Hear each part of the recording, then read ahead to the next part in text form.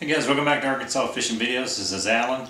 Wanted to do a quick update on our boat project. We were able to, or I was able to get get it registered with the state, finally get it legal um, this past week. Uh, if you'll remember, or maybe not, if you're new to the channel, I'll put a link up above so you can see that video. But uh, the boat that we purchased from the Facebook market didn't have a hull identification number on it, so we had to go through a few things in order to get it registered legally with the state.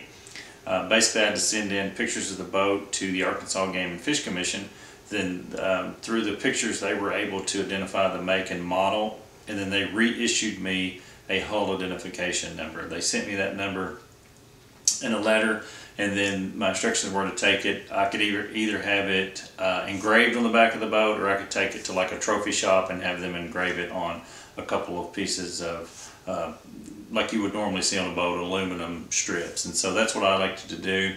Local trophy shop did it. It was under five dollars probably to get that done.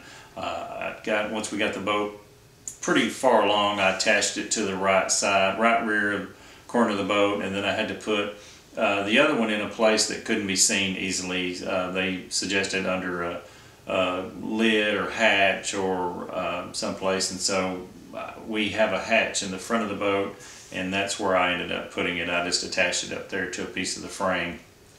Kind of out of the way. I guess if the boat's ever stolen and somebody pops it off the back uh, right corner, you would be able to identify your boat because you would you would know where the other other hull identification number was.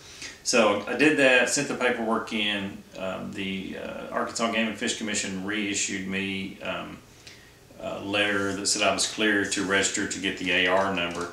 Uh, the first thing I had to do was have the boat added to my assessment for the year, so we pay our taxes on it, which that was a pretty streamlined process. Didn't take very long at all. Then I walked next door uh, at the DM local DMV.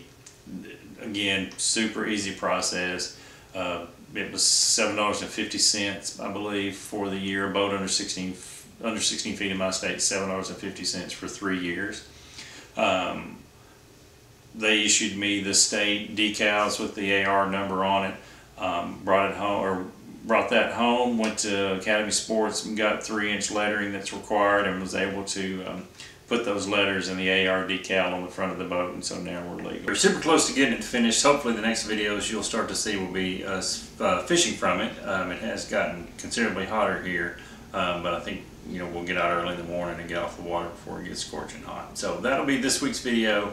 Um, if you want to subscribe to the channel, you can hit the subscribe button down below.